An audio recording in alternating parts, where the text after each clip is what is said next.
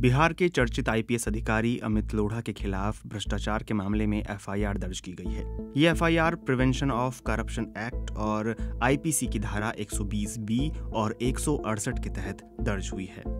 इसमें आपराधिक षड्यंत्र रचने और सरकारी नौकरी में रहते हुए गैर कानूनी तरीके से व्यवसाय करने का आरोप लगाया गया है।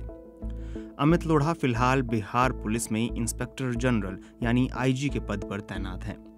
दरअसल ओ प्लेटफॉर्म पर आई एक नई web series, Khakee the Bihar chapter, इन दिनों सुर्खियों में है। ये वेब सीरीज़ अमित लोढ़ा की किताब बिहार डायरीज पर आधारित है। बिहार पुलिस की आर्थिक अपराध शाखा ने इससे जुड़ी शिकायत दर्ज की। खबरों के मुताबिक, अमित लोढ़ा ने आईपीएस रहते हुए फ्राइडे स्टोरी टेलर्स नाम के प्रोडक्शन हाउस के साथ समझौता किया था। उनका यह समझौता कागजों पर भले ही एक रुपये का था, लेकिन पुलिस का दावा है कि उनकी पत्नी के अकाउंट में करीब उनचास लाख रुपए का ट्रांजैक्शन हुआ था। इस रिपोर्ट के लिए बीबीसी ने उनका पक्ष जानने की कोशिश की, लेकिन उनसे संपर्क नहीं हो पाया। खबरों के मुताबिक अमित लोढ़ा के खिलाफ दर्ज एफआईआर में कहा गया है, अमित लोढ़ा ना तो एक जाने माने लेखक हैं और ना ही व्यावसायिक मकसद से उनको कोई किताब लिखने का अधिकार है। अमित लोढ़ा ने इन सारे तथ्यों की परवाह नहीं की और गैर कानूनी तरीके से पैसे कमाए। खबर के मुताबिक अमित लोढ़ा ने ब्लैक मनी को व्हाइट बनाने के लिए अपनी किताब बिहार डायरीज का इस्तेमाल किया, जिस पर Khakee the Bihar chapter web series बनाई गई है।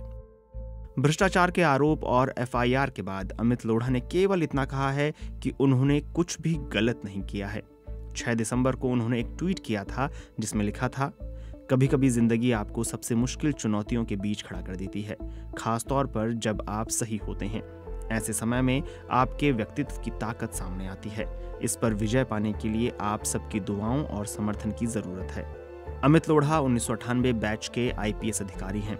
उन्होंने अपराध, राजनीति और अपने अनुभवों पर बिहार डायरीज लिखी है।